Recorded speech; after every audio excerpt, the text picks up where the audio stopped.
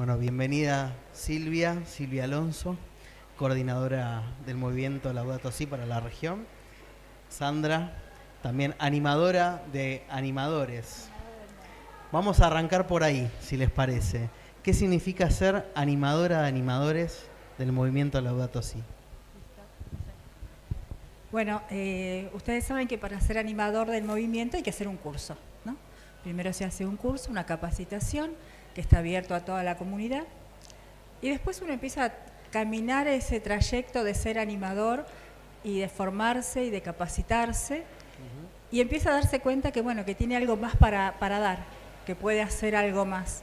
Entonces bueno, lo habla con, con el equipo y de ahí bueno se empieza un camino nuevo que es esto de empezar a motivar a otros, a que otros hagan aquello que les guste, que tengan ganas, que les sirva a los demás, ¿no? Porque la idea del movimiento es eso, es tener justamente actividades, movimiento es algo activo, tener actividades que motiven a otros.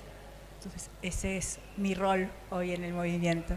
Excelente, ok Silvia, entonces la formación, la pedagogía es central en el movimiento. A ver, hay muchas cosas que hace el movimiento, pero creo que lo que decía recién Sandra es por ahí, lo que antes yo hablaba de ello, como decir la puerta de entrada. Es un programa de formación que es el mismo en, todos los que hablan el mismo idioma, porque se da el curso, eh, el programa lo llama el movimiento a nivel global en distintos idiomas. Así que eh, un argentino un panameño o un mexicano comparten durante lo que dura el programa, que es aproximadamente un mes, un mes y medio, depende del ritmo de cada uno, esa pedagogía, con una em, con un aval que para mí es muy importante, que es del CEVITEPAL, el Centro de Formación del CELAM. Em, y es la puerta de entrada, como digo, vemos un poquito qué es el movimiento, en qué lugares del mundo está, qué dice la encíclica Laudato Si, qué significa ser animador o qué es un círculo Laudato Si. Eh, después hay un refrán que tiene que ver con las carreras de caballo que es en la cancha se ven los pingos. Después hay que meterse y siempre le pasa a todo el mundo que entiende y dice, ay, no entiendo nada. Pero bueno, vamos construyendo juntos.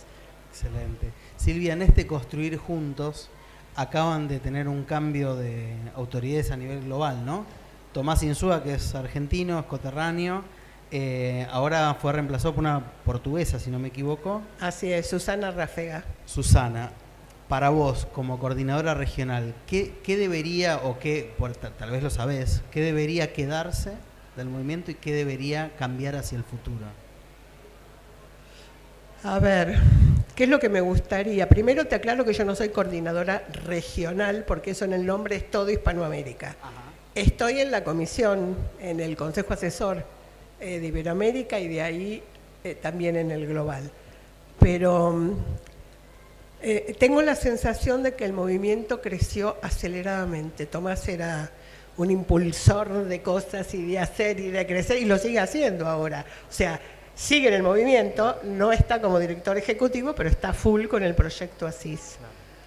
Eh, mi, sensación es que hay que seguir creciendo, mi sensación es que hay un esfuerzo muy grande que hacer eh, con la formación en temas tan complejos como son los temas de, la encíclica, de ambiente y desarrollo. Eh, lo hablaba el otro día con la que sí es la directora regional, eh, que quizás llegó el momento de hacer como si fuera el posgrado de animador. Porque el, programa de animador está hecho para que cualquier persona, independientemente de su formación, eh, pueda hacerlo y pueda entender un poco de qué trata la encíclica. Pero hay un montón de profesionales ahora, de Argentina, por ejemplo, haciendo eh, el programa de animadores